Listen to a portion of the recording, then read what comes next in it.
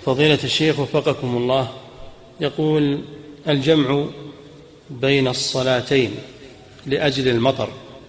يقول هل يجمع بين الظهرين أو هو خاص بالعشاءين؟ ومتى يجمع؟ يجمع بين العشاءين لأن الناس بحاجة إلى الجمع بين العشاءين ليلة المطر لأجل أن يكتنوا في بيوتهم.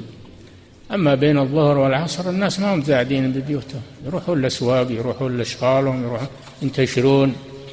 نهار لأنه نهار. ينتشرون يطلبون الرزق.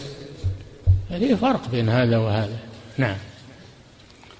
ويقول حفظك الله متى يجوز الجمع لأجل المطر؟ الذي يبل الثياب المطر الذي يبل الثياب إذا طلعت يربص ثوبك.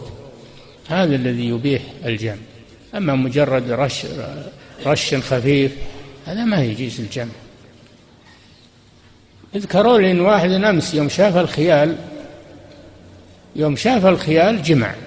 يوم طلعوا إلى مصحيه ما في خيال. وما نزل مطر ولا نزل شيء. يقول حنا معنا شيبان ونبي نجمع علشانهم. هذا تلاعب بالصلاة. هذا تلاعب بالصلاة.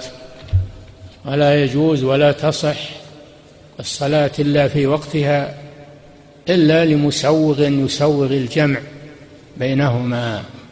لا يتلاعب بالصلوات لأجل أن الإنسان بس يروح يرتاح ما يجوز هذا.